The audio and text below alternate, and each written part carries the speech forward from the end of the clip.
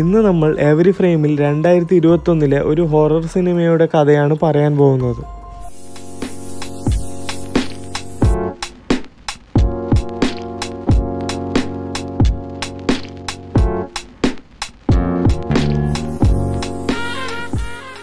സിനിമയുടെ തുടക്കം തന്നെ കാർ ബ്രേക്ക് ഡൗൺ ആയത് കാരണം നടന്നു പോകുന്ന കാരിസ് എന്ന ഒരു പെൺകുട്ടിയാണ് നമ്മൾ കാണുന്നത്.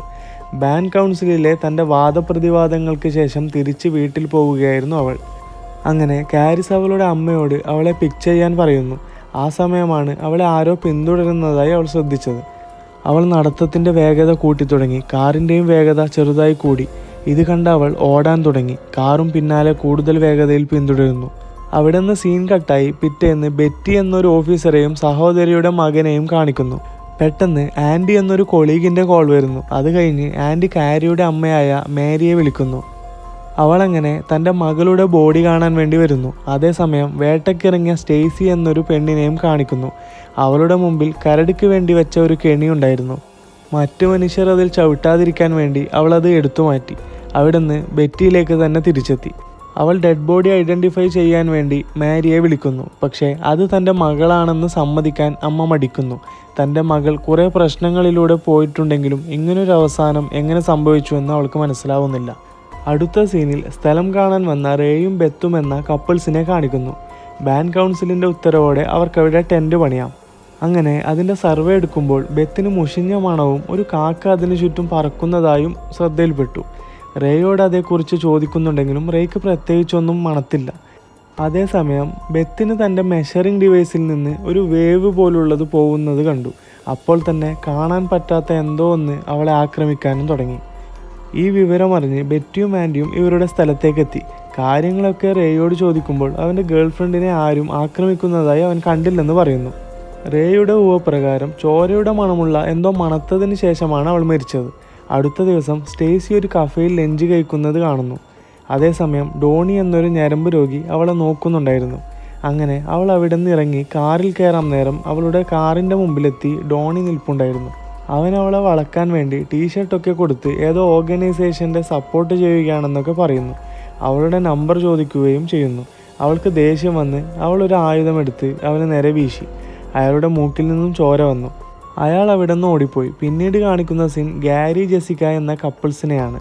ഹണ്ടിങ്ങിനെയൊക്കെ കുറിച്ച് സംസാരിക്കുമ്പോൾ പെട്ടെന്നൊരു പ്രത്യേക മണം ഗാരിക്ക് മണക്കുകയും അവരുടെ കാറിന്റെ മുകളിൽ എന്തോ നടക്കുന്നത് പോലെയും തോന്നുന്നു.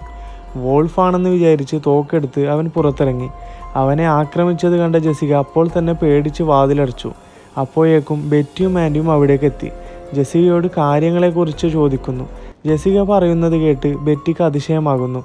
മുമ്പത്തെ കൊലയുടേത് പോലെ തന്നെ ഗേരി മണത്തതും കണ്ടതുമായതൊന്നും ജെസിക കണ്ടിട്ടില്ല. അതേസമയം ജെയ്സി കാട്ടിലൂടെ നടക്കുമ്പോൾ പെട്ടെന്ന് മുമ്പിലേക്ക് ബെറ്റി വരുന്നു. അവൾക്ക് സ്റ്റേസിയെ കൂടി ഈ ഇൻവെസ്റ്റിഗേഷനിൽ ഉൾപ്പെടുത്തണമായിരുന്നു. കാരണം അവൾ ഇങ്ങനെയുള്ള കാര്യത്തിലൊക്കെ വളരെ മിടുക്കിയാണ്. ആദ്യം സ്റ്റേസി അതിന് സമ്മതിക്കുന്നില്ലെങ്കിലും പിന്നീട് ബെറ്റിയുടെ റിക്വസ്റ്റ് കാരണം അവൾക്ക് സമ്മതിക്കേണ്ടി വരുന്നു. അവർ മരിച്ച ആൾക്കാരുടെ ഡെഡ് ബോഡികൾ ഓരോന്നായി നോക്കുവാൻ തുടങ്ങി. ശരീരത്തിലെ മുറിവുകൾ കണ്ട് വേട്ടയ്ക്കിടയിൽ വേട്ടാമൃഗം ആക്രമിച്ചതുപോലെയുണ്ടെന്ന് പറയുന്നു. അവരവിടുന്ന് പോവാൻ നേരത്ത് ഫ്രാൻസിസിന്റെ പ്രത്യേകതരം ചെയിൻ സ്റ്റേസിയുടെ ശ്രദ്ധയിൽപ്പെടുന്നു. പിന്നെ ഫ്രാൻസിസിന്റെ ചില കളികൾ കണ്ട് ബെറ്റിക്കും ഡൗട്ട് തോന്നുന്നു. അത് കഴിഞ്ഞ് സ്റ്റേസി അവളുടെ അങ്കിളിന്റെ അടുത്ത് പോയി ഈ കാര്യം പറയുന്നു. ഇത് കേട്ടപ്പോൾ തന്നെ കാർസൺ ആയുധമെടുത്ത് അവളെ സഹായിക്കാൻ തയ്യാറായി നിൽക്കുന്നു. മറ്റൊരു ഭാഗത്ത് ബെറ്റി ഇതിനെക്കുറിച്ച് കൂടുതൽ അന്വേഷിക്കാൻ നോക്കുന്നു. പ്രേതങ്ങളുമായി ഈ കാര്യത്തിന് ബന്ധമുണ്ടോ എന്നൊക്കെ നോക്കുമ്പോഴാണ് അവൾക്ക് മന്ത്രവാദവുമായി ബന്ധപ്പെട്ടുള്ള ഫ്രാൻസിസിന്റെ ഫോട്ടോ കണ്ടത്. അങ്ങനെ സ്റ്റേസിയും മംഗളും കൂടി ആ കാട്ടിലെ എല്ലാ പാതയിലൂടെയും അന്വേഷിക്കാൻ ഇറങ്ങുന്നു. ഇരയായി ഒരു ഇറച്ചി കഷ്ണം അവർ ആ കാട്ടിൽ വെക്കുന്നു. അവർക്ക് അപ്പോഴാണ് അതൊരു മൃഗമല്ല ചെകുത്താനാണ് ഇതൊക്കെ ചെയ്യുന്നതെന്ന് മനസ്സിലായത്. അത് വന്ന് അയാളെ ആക്രമിക്കുന്നു. വല്ലാണ്ട് പരിക്കേറ്റ അയാളെ സ്റ്റേസി ഹോസ്പിറ്റലിലേക്ക് കൊണ്ടുപോകുന്നു. കാർസൺ ഐ സിയുലാണ് അയാളെ കാണാൻ ബെറ്റി അവിടേക്ക് എത്തുന്നു. സ്റ്റേസി അവളോട് കാര്യങ്ങൾ പറയുന്നു. അതൊരു മൃഗമല്ല മുമ്പത്തെ ഹിറ്റ് ആൻഡ് റണ്ണിലെ ഇരയായ കാരിസിനെ പോലെയുണ്ടെന്ന്. മുമ്പ് വലുതായി സ്പിരിച്വൽ കാര്യങ്ങളിൽ വിശ്വാസമില്ലായിരുന്ന ബെറ്റിക്ക് അതിൽ വിശ്വാസമാവുന്നു. ആന്റി വന്നിട്ട് ഇതൊക്കെ ഇവിടുത്തുകാർ തന്നെ ദുഷ്ടശക്തി കാരണം ചെയ്യുന്നതാണെന്ന് പറയുന്നു. പെട്ടെന്ന് കാരിസിന് കാര്യങ്ങൾ മനസ്സിലായതുപോലെ കാരിസിന്റെ എല്ലാ അവയവങ്ങളും ഉണ്ടായിരുന്നു. ഹൃദയം ഉൾപ്പെടെ എന്ന് ചോദിക്കുന്നു. കാരിസിന്റെ മരണസ്ഥലത്തുള്ള ഫ്രാൻസിസിനെയാണ് പിന്നെ നമ്മൾ കാണുന്നത്. അവിടേക്ക് മാരിയും എത്തിച്ചേർന്ന് കാരിസ് ചെയ്ത നല്ല കാര്യങ്ങളെക്കുറിച്ച് പറയുന്നുണ്ട്. അവരുടെ സംസാരത്തിനൊടുവിൽ മാരിക്കൊരു കാറ്റ് വീശുന്നത് പോലെ തോന്നി. അടുത്ത ദിവസം ബെത്ത് മരണങ്ങൾ തമ്മിലുള്ള ചെറിയൊരു ക്ലൂ പോലും ഉണ്ടോ എന്ന് തേടുന്നു. അപ്പോഴാണ് അവൾക്കൊരു ക്ലൂ ലഭിച്ചത്. മരിച്ച ആൾക്കാരൊക്കെ ധരിച്ചിരുന്ന വസ്ത്രം ഒരു ഓർഗനൈസേഷന്റെതാണെന്ന് ബാക്കിയുള്ള പാർട്ട്നേഴ്സൊക്കെ കൂടെ വന്നവർ മാത്രമായിരുന്നു. അവർക്കൊന്നും സംഭവിച്ചിട്ടുമില്ല.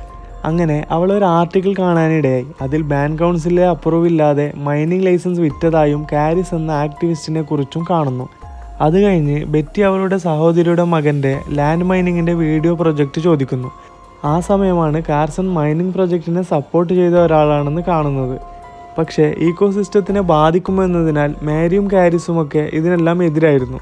വൈകുന്നേരം ഷെഡിൽ വന്ന് കാരിസിന്റെ ബോഡി എവിടെയെന്ന് ബെറ്റി ചോദിക്കുന്നു. എന്നാൽ ഫ്രാൻസിസ് പറയുന്നു ബോഡി വേറെ സ്ഥലത്തേക്ക് മാറ്റിയെന്ന്. ആ ഉത്തരത്തിൽ തൃപ്തിയല്ലാത്ത ബെറ്റി ഫ്രാൻസിസിനോട് കൊണ്ടുപോയതും മറ്റുമായുള്ള രേഖകൾ ചോദിക്കുന്നു.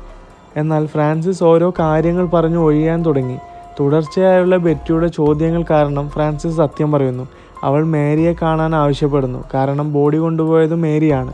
അടുത്ത ദിവസം സ്റ്റേസിയെ കണ്ട് ബെറ്റി കാര്യങ്ങൾ സൂചിപ്പിക്കുന്നു.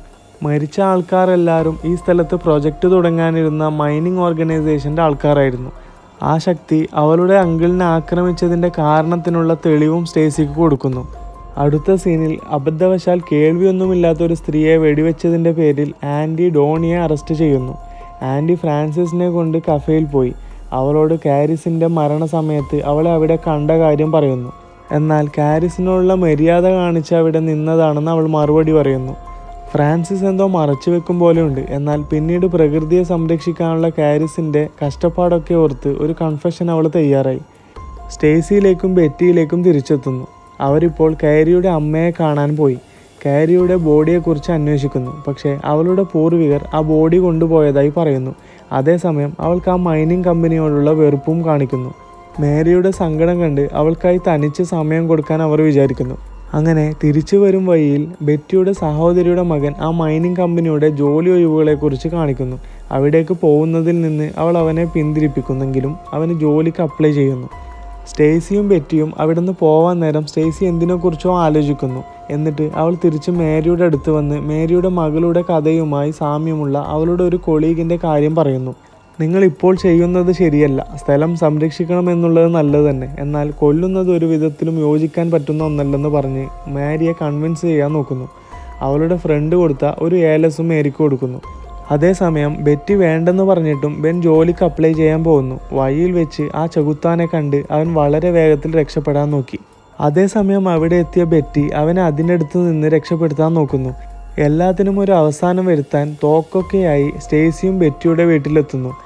അവരെ കൊല്ലാൻ വേണ്ടി വാതിലിനടുത്ത് നിൽപ്പുണ്ടായിരുന്ന കാരിസിന്റെ പ്രായത്തെ സ്റ്റേസിക്ക് ഡോണി കൊടുത്ത ആ മൈനിങ് കമ്പനിയുടെ ടീഷർട്ട് കാണിച്ച് ശ്രദ്ധ തെറ്റിക്കുന്നു. അവളെ പുറത്തേക്ക് കൊണ്ടുവന്ന് സ്റ്റേസി തയ്യാറാക്കിയ ബിയർ ട്രാപ്പിൽ പെടുത്തുന്നു. സ്റ്റേസിയും ബെറ്റിയും അവൾക്ക് നേരെ വെടിയുതിർത്തുന്നു. പക്ഷേ മനുഷ്യനല്ലാത്ത കാരണം അതൊന്നും അവൾ കേൾക്കുന്നില്ല. എന്ത് ചെയ്യണമെന്നറിയാതെ സ്റ്റേസി ഒരു കോടാലി എടുക്കാൻ പോയി. അപ്പോഴേക്കും കാരി പുറത്തു വന്ന് ബെറ്റി ആക്രമിക്കുന്നു. എന്ത് ചെയ്യണമെന്നറിയാതിരുന്നിടത്ത് ചെയ്യുന്നത് തെറ്റാണെന്ന് മനസ്സിലാക്കിയ മാരി വന്ന് ആചാരങ്ങളിലൂടെ അവളുടെ ഹൃദയം കത്തിച്ച് ഇതിനൊക്കെ ഒരു അന്ത്യം കുറിക്കുന്നു. നിമിഷങ്ങൾക്കകം അവളുടെ ശക്തി ഇല്ലാതാവാൻ തുടങ്ങി. കുറേ സമയം കാത്തിരിക്കാൻ പറ്റാത്ത സ്റ്റേസി അവളുടെ തല വെട്ടിമാറ്റി. സീൻ കട്ടായി മേരിയെ കാണാൻ വന്ന ഫ്രാൻസിസിനെ കാണിക്കുന്നു. എല്ലാം കഴിഞ്ഞോ എന്ന് മേരിയോട് ഫ്രാൻസിസ് ചോദിക്കുന്നു. ഏകദേശം എന്ന് മാരി പറയുന്നു. പക്ഷേ ഇനി ഒരിക്കൽ കൂടി മാത്രമേ അവളുടെ പേര് ഉച്ചരിച്ച് ആത്മാവിനെ കൊണ്ടുവരാൻ പറ്റുമെന്ന് പറയുന്നു. ഈ സമയം ബെറ്റിയും സ്റ്റേസിയെയും കാണാൻ ആൻഡി വരുന്നു. എന്നിട്ട് കാരിയുടെ മരണത്തിന്റെ ഉത്തരവാദി ഡോണിയാണെന്നും പ്രൊജക്റ്റിനെതിരെ നിന്നതുകൊണ്ട് കൊല്ലാൻ ഏൽപ്പിച്ചതാണെന്നും പറയുന്നു. പക്ഷേ മാരി പറഞ്ഞ കാര്യങ്ങളൊന്നും അറിയാത്ത ആൻഡി തന്റെ വാക്കുകൾക്കിടയിൽ കാരിയുടെ പേര് പറഞ്ഞതുകൊണ്ട് അവസാനമായി ഒരു തവണ കൂടി ആത്മാവ് ഉയർത്തെഴുന്നേറ്റ് ഡോണിയെ ആക്രമിക്കുന്നു. അതോടെ സിനിമ അവസാനിക്കുന്നു. ചുരുക്കി പറയുകയാണെങ്കിൽ ആ മണ്ണ് പിടിച്ചെടുക്കാൻ നിൽക്കുന്ന മൈനിങ് കമ്പനി അതിനെതിരെ പോരാടുന്ന ആക്ടിവിസ്റ്റ്. അതുകൊണ്ട് എതിരായി നിന്ന കാരിസ് എന്ന ആക്ടിവിസ്റ്റിനെ കൊല്ലാൻ ഡോണിയെ ഏൽപ്പിക്കുന്നു. ഇത് അംഗീകരിക്കാൻ പറ്റാത്ത അമ്മ മന്ത്രവാദത്തിലൂടെ പേര് വിളിച്ചാൽ വരും രീതിയിൽ അവരുടെ ശരീരവും ഹൃദയവും വെച്ച് ഒരു രൂപത്തെ ആഹ്വാനം ചെയ്ത് ഇതുമായി ബന്ധപ്പെട്ടവരെ കൊല്ലുന്നു. സ്റ്റേസിയുടെ വാക്കുകളിൽ തിരിച്ചറിവുണ്ടായ മേരി അവളായി തുടങ്ങി വെച്ചത് അവളായി തന്നെ നിർത്തുന്നു. Thanks for watching.